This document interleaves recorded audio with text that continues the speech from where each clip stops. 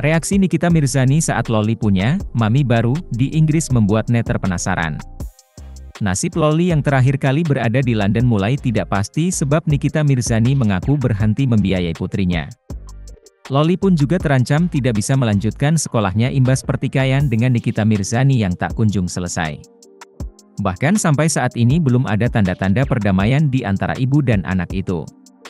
Loli pun kabarnya tinggal di Inggris bersama keluarga Mami Eda.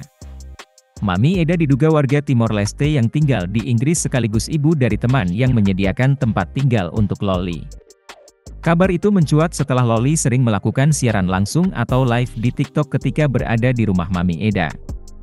Menanggapi putrinya yang sudah memiliki, Mami baru, Nikita Mirzani pun tetap gak mau ambil pusing. Nikita Mirzani menyarankan netizen memberi nasihat yang tepat ke Loli agar gadis 16 tahun itu bisa menyadari sikapnya. Lebih lanjut, Nikita Mirzani menilai selama ini putri sulungnya sering membual. Bahkan, Nikita Mirzani khawatir Loli bisa mengalami masalah kesehatan jiwa bila terus diberi dukungan tanpa pembinaan yang benar. Nikita Mirzani menyebut putri sulungnya Loli bisa-bisa masuk rumah sakit jiwa, RSJ, bila sudah tidak kuat. Oleh karena itu, Nikita Mirzani mengingatkan netizen untuk tidak mendukung segala bentuk halusinasi atau omong kosong Loli.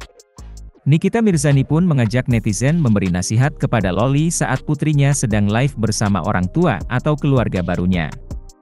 Hal ini bertujuan agar Loli mendapat nasihat yang benar dan dapat menghindari perilaku yang tidak terkendali.